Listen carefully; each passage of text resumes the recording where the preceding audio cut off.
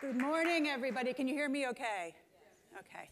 Um, I have no conflicts to report. I guess that's the first way to start. Do you feel the power of potential when you walk into a patient's room? There's the potential for a great result, a wonderful team working together, building relationships, ideally building a community. But there's also the potential that things can go wrong. Someone can get hurt. The team cannot work well. That's the difference between what is and what could be. And in that space lies the power of potential. I'm a little obsessed with the power of potential because I've defended doctors and hospitals in medical malpractice cases for over 20 years. In every case, we have the potential to win and the potential to lose.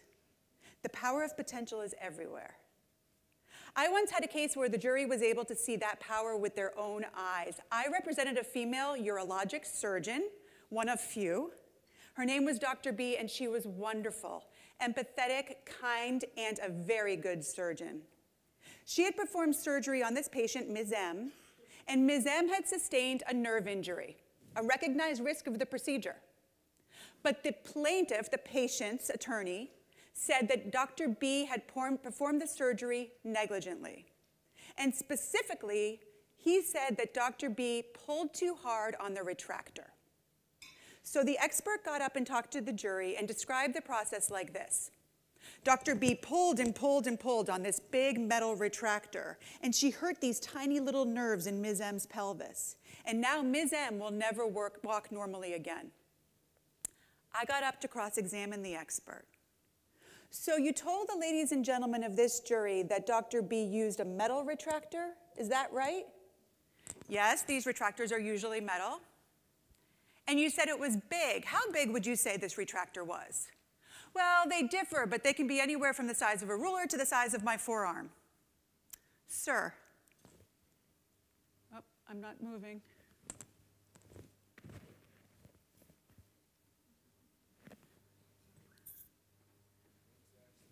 It's okay. I know because I, well, I'm right. That's, the jury was too. But let's see, okay, come on. All right, let's try one more. It's done. There we go. If I were to tell you that this was the retractor that Dr. B used in this procedure, then everything you've told the ladies and gentlemen of this jury is just plain wrong, isn't it? One of the jury members laughed. That is the best feeling in the world. When a jury is laughing with you and not at you, you are having a good day. That juror was laughing at the expert, sure, but he was also laughing at the power of potential. A retractor could be a great big metal thing, but it could also be this tiny little rubber thing. That's the power of potential. And I learned a whole lot from that case.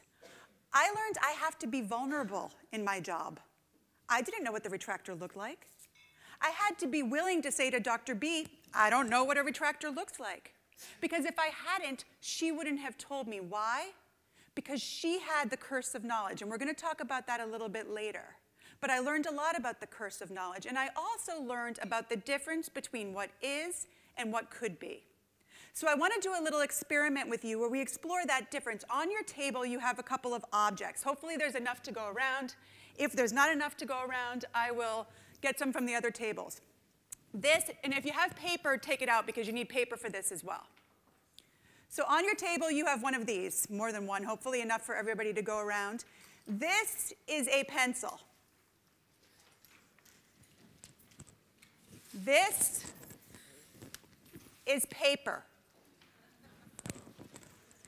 This could be a rubber band. So I'd ask you to draw your initials on the piece of paper.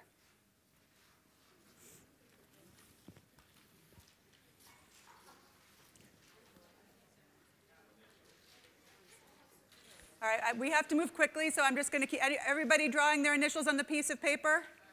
Okay, now erase them. No eraser. Anyone think of something that could be used as an eraser? Okay, so in a psychological study with this, they took half of a group and they told them this is a rubber band. They took the other half of the group and they told them this could be a rubber band. Those who were told this is a rubber band, only 3% of them thought to use it as an eraser. But those told this could be a rubber band, 40% of them thought to use it as an eraser. That's the difference between what is and what could be, and it's just words. Now, many of you are trying the eraser and you're saying, wait a minute, this doesn't work. It's messy, it's not perfect. Guess what? Could be's are messy, they're not perfect. They take experimentation, they take technique. Maybe you need another rubber band, maybe you need a different piece of paper. But that is what could be is all about. It could be, for example, that women actually make better doctors. We know that studies show us that that just might be true. And researchers think that's for a couple of reasons. They think it's because women tend to be more empathetic. They think it's because women tend to be more detail oriented. They think it's because women tend to be better listeners. Women tend to be better at putting themselves in other people's shoes. And I had a case where we saw how very important it is to put yourself in someone else's shoes. What I remember most about this case is the stares. You see, normally when a patient sues a doctor, I take the patient's deposition and I speak to the patient about what happened. What's your injury? Tell me about your conversation with your doctor. Tell me about your pain. Tell me about your disability. And normally that happens in a sterile plaintiff's attorney's office with a court reporter at the head of the table, sitting across the table from the patient. But in this case, it was the first time that I had to go to the patient's row home in Philadelphia because he was dying. And I stood at the bottom of the stairs looking up at these narrow, dark, steep stairs, knowing that I had to climb those stairs and challenge this man a little. Because he claimed that my doctor had failed to diagnose his cancer. And he said that if my doctor had diagnosed his cancer, he would have survived the cancer. And now he was dying. But I had to push back a little because you see, my doctor had recommended in the patient portal that the patient have an MRI, and he hadn't done so. So I knew I had to climb those stairs and step into this dying man's home and question him as to why he hadn't done what the doctor had recommended. I reached the top of the stairs. There were hospital beds, there were nurses in the room, there were all kinds of machines, and I sat down across from the patient and we had a conversation and I listened. And he told me about his, his life growing up in Philadelphia. He told me about his visits with the doctor. He told me about his pain. He told me about his anger. He told me about his fear over dying. And then I said to him, Sir, why didn't you have the MRI that the doctor recommended? His answer, I didn't know what an MRI was. I had had an x ray, and I thought they were pretty much the same thing, and I didn't want to spend more money on a copay. I said to him, Why didn't you just ask the doctor what an MRI was? And he said, I was embarrassed. I didn't know what people were reading in the patient portal, and I didn't want people to think I was stupid. Now, I learned a lot from that case and a lot about technology, which, if I had more time, I could talk about technology forever. Because did you know that if you ask someone to do something face to face, they are 34 times more likely to do it than if you ask them on an email? Had that doctor asked that patient to have that MRI face to face, we might not have been there. But I also learned about the curse of knowledge, and this is something that I think that all of you need to remember as you go back out into your practice. This is the curse of knowledge at work. What am I humming?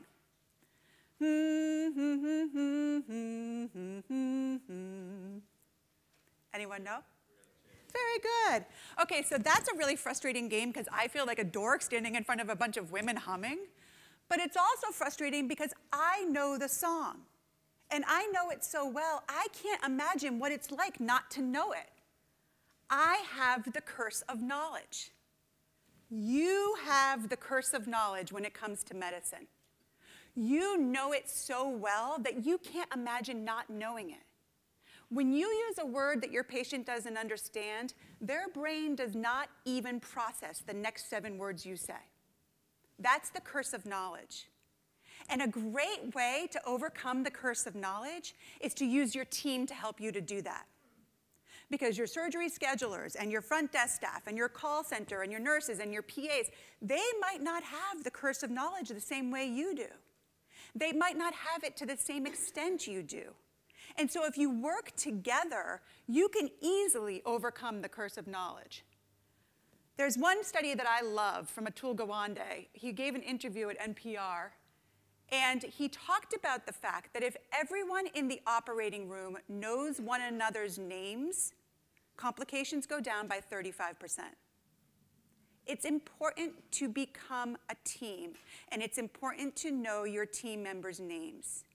Because every member of the team has a different perspective that they bring to the care of the patient. And that team includes the caregivers as well the people who are at home working with your patient. And perspective is really important. It's something that's a big part of empathy. To do a little study on perspective, I'd ask you to quickly, I don't want to take up more than my time, draw on your paper a picture of a coffee cup. And I'm going to come around real quick and just take a look at your pictures of coffee cups.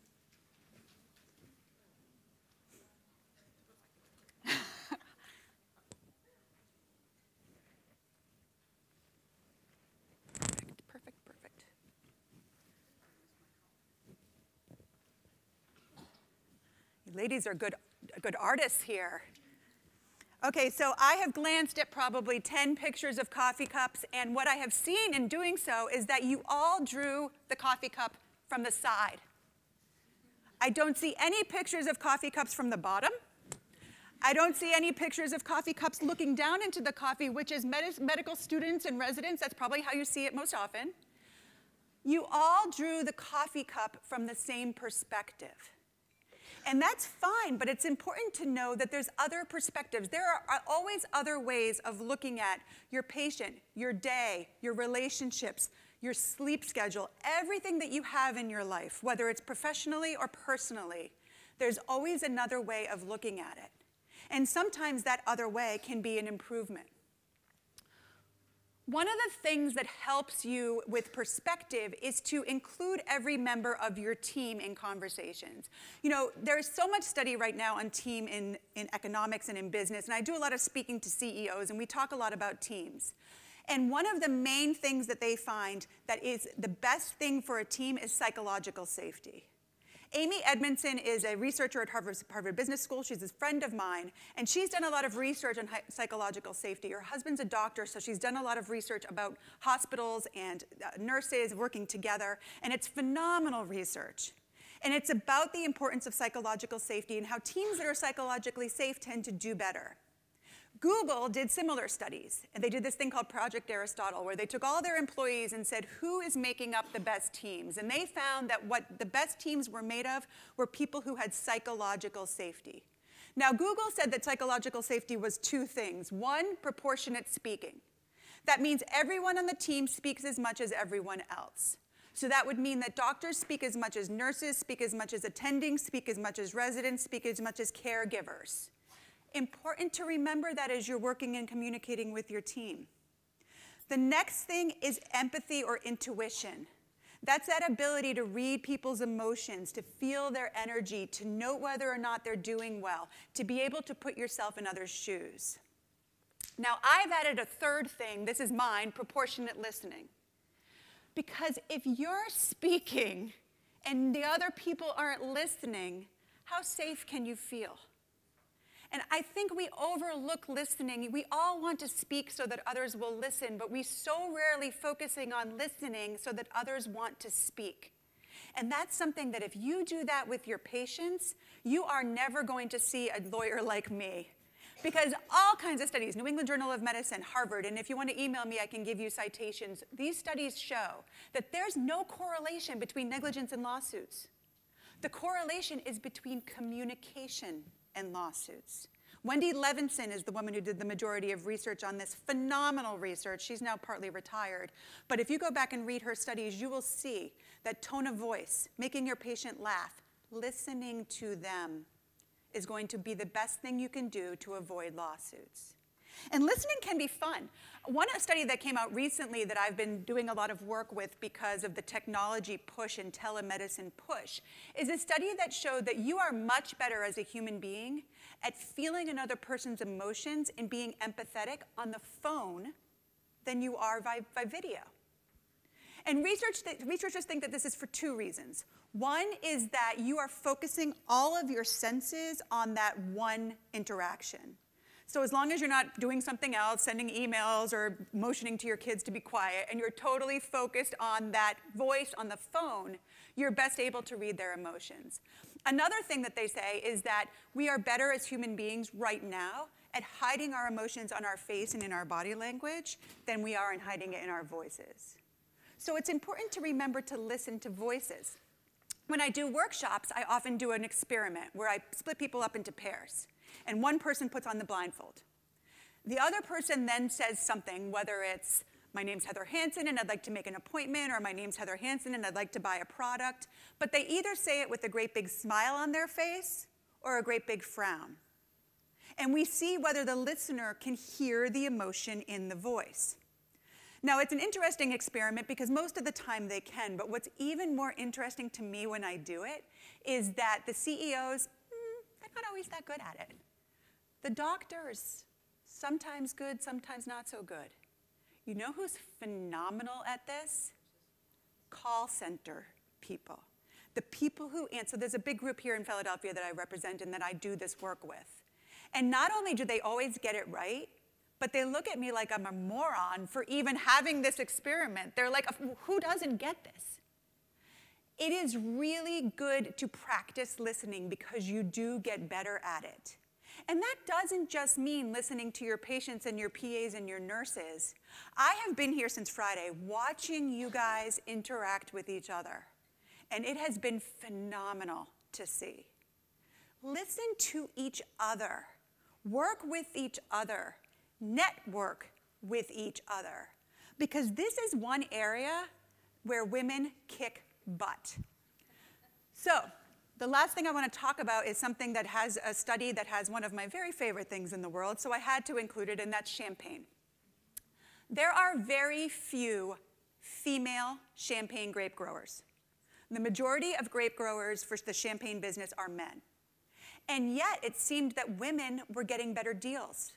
They were getting better prices on their champagne. They were doing better in their sales. And the people at Harvard Business School wanted to figure out why that was. So they did a study and they found out that the reason women were getting better prices for their champagne is because they were so much better at networking. They were sharing information. They were talking about the prices they were getting for the champagne. They were talking about the prices they were getting to sell the champagne grapes, and they were talking about who had the better champagne grapes and who didn't. They were working together instead of being in competition like the men were. It reminded me of Octavia Spencer and um, Jessica Chastain. Do you guys all know what they did? So Je Octavia Spencer is an African-American actress, and they've been in some movies together. And with the whole Me Too movement, now there's a push to make sure that women are getting what other what men are getting. And Jessica Chastain wanted to make sure that she was getting what men were getting in this next movie. And Octavia explained to her that we African American women are getting a whole lot less than you are. Sharing information, networking, and Jessica said, well, that's not happening here. We're negotiating together. And we're going to get the same price together. And they got, I, I, forget the number, it's something like 500 times more than what Octavia normally makes because they did it together. And so continue the networking that you've been doing. Continue with all the talking that you've been doing and sharing the information and use technology for good in that situation and stay with that conversation because as you do so, it's only going to help to your benefit. You know, could be's are messy. Sex trafficking could be a thing of the past. That's messy. Gun violence, we could be finding some legislation that works. That's messy. It's not perfect, just like the rubber band isn't a perfect eraser. But I ask you, as you go back into your lives, to go out there and play with what could be. I can't wait to see what you do. Thank you so much for your time.